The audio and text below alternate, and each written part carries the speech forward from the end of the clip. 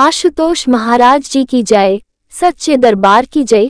गुरु भाइयों और बहनों, एक बार गुरुदेव श्री आशुतोष महाराज जी अपने गायक शिष्यों के साथ बैठे थे। उन्हें एक भजन की धुन सिखा रहे थे। पहले महाराज जी कुछ पंक्तियाँ गाते, फिर स्वामी भाई उनको वैसे ही सुर ताल सहित दोहराते। तभी भाइयों ने देखा कि जैसे ही महाराज जी गाने लगते तो बाहर बरामदे में मोर नाचने लगता।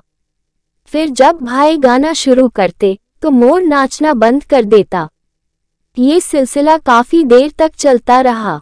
गुरु भाइयों ने यह बात महाराज जी को बताई। फिर सभी हंसने लगे, देखो, महाराज जी, मोर को भी संगीत का कितना ज्ञान है। तभी तो जब आप यानी सुरों के सरताज गाते हैं तो वह खुशी से नाच उठता है और हम बेसुरों को सुनकर उसके पाँव जम जाते हैं। इसके बाद सभी गुरु भाई फिर अभ्यास में लग गए। थोड़ी देर ही हुई होगी कि वह मोर दौड़ता हुआ महाराज जी के पास आया और महाराज जी के हाथ पर काटकर चला गया। सभी स्वामियों के हृदय में ऐसी पीड़ा की लहर उठी, जैसे मानो मोर ने उनके हाथ पर ही काटा हो। एक की यह पीड़ा तो गुस्से में बदल गई। स्वामी भाई बोले, महाराज जी, अभी तो हम इसकी प्रशंसा कर रहे थे। पर अब बताओ अकारण ही यह मोर आपको आहत कर गया। महाराज जी, स्वामी जी को शांत करते हुए बोले, अरे, इतना गुस्सा क्यों? भला अपनी अल्प दृष्टि को उसकी अल्प बुद्धि क्यों बता रहे हो? वो हमें काट कर थोड़े न गया है। तुम सब तो गाने में व्यस्त थे और हम तुम्हें सुनने में।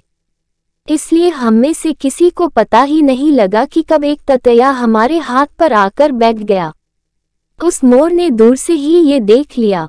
इसलिए वह दौड़ता हुआ आया और उसे उड़ा गया।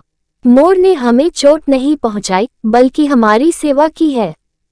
ये सुनना था कि कक्ष में उपस्थित सभी गुरु भाइयों की आँखें नम हो गईं और मन में यही भाव उठा, सारी सृष्टि, सभी जीव जंतु महाराज जी की सेवा में इतने तत्पर हैं तो हम क्या उनकी सेवा करेंगे? तो गुरु भाइयों और बहनों, मैं अपनी वाणी को यही विराम देती हूँ। ऐसी ही महाराज जी के और प्रसंग सुनने के लिए वीडियो को लाइक करें और चैनल को सब्सक्राइब कर लें। बोलिए आशुतोष महाराज जी की जय। सच्चे दरबार की जय।